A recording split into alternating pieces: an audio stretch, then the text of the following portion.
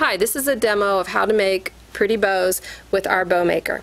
Put the dowels in the holes far apart as you want the loops to be.